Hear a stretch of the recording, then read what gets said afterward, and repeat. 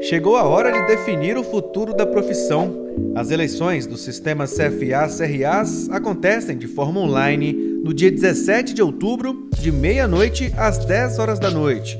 É preciso ficar atento a alguns procedimentos. O primeiro é a recuperação da sua senha. Não sabe como fazer? Não se preocupe.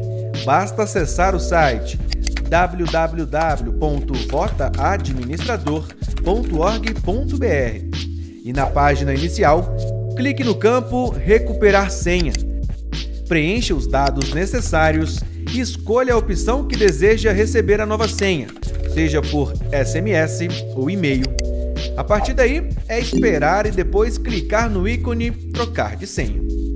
A troca de senha também pode ser feita no mesmo site. Clique na opção Trocar de senha, preencha os dados e confirme.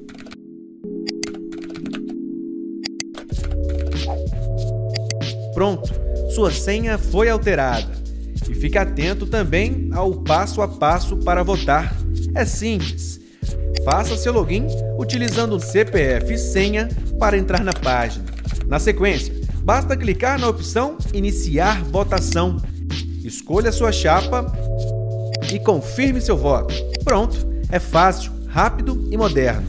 No pleito ou nas urnas, é você quem decide.